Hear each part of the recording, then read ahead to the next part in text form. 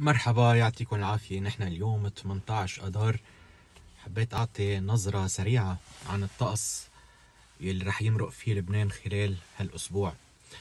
أه صراحة منلاحظ بهالفترة أنه منخفض البحر الأحمر يلي هو كناية عن ضغط منخفض بأفريقيا عم بيتمدد نحو شمال المملكة السعودية والشرق الأوسط كله سوا عم بيشمل لبنان سوريا فلسطين قبرص.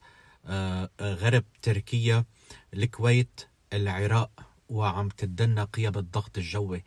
هيدا يلي عم بخلي إنه الكتل الباردة يلي عم تنزل من المناطق الشمالية عم تصطدم فوق شمال البحر الأحمر بكتل دافية ورطبة وعم آه، تطلع من بحر العرب.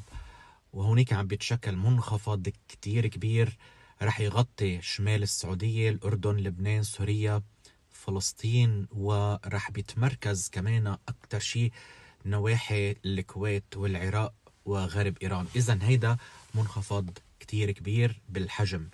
فرح يتأثر لبنان بالقسم الأول من هالأسبوع بين التنين بعد الظهر والمساء والثلاثة والأربعة بأمطار بين المتوسطة والغزيرة وعواصف رعدية وتساقط كمان لحبات البرد ببعض المناطق والثلج أكيد بيكون فوق ال 2200 متر.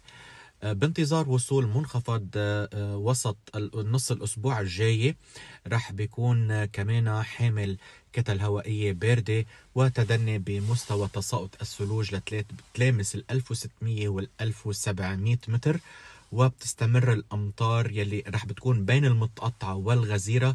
بتستمر الأمطار لغاية نهار التنين يعني الطقس الشعنيني لحد هلأ مبين طقس آه، متقلب غائم وممطر.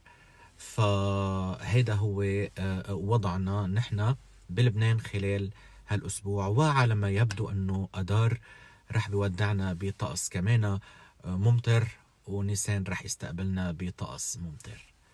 إذا يعطيكم العافية وهيدي نشرة الطقس هيك بلمحة سريعة عن اللي ناطرنا.